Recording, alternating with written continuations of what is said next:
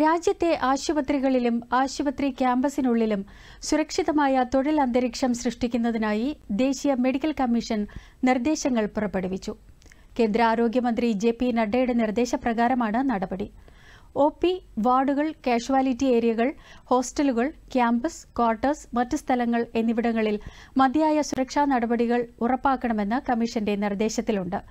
ആശുപത്രി ഇടനാഴികളിലും ക്യാമ്പസ് ഏരിയകളിലും ജീവനക്കാർക്ക് സുരക്ഷിതമായി സഞ്ചരിക്കുന്നതിന് നല്ല വെളിച്ചമുണ്ടായിരിക്കണം. കൂടാതെ എല്ലാ പ്രധാന ഏരിയകളിലും സി സി ടി വി ക്യാമറകളും സജ്ജമാക്കണമെന്നും നിർദ്ദേശമുണ്ട്.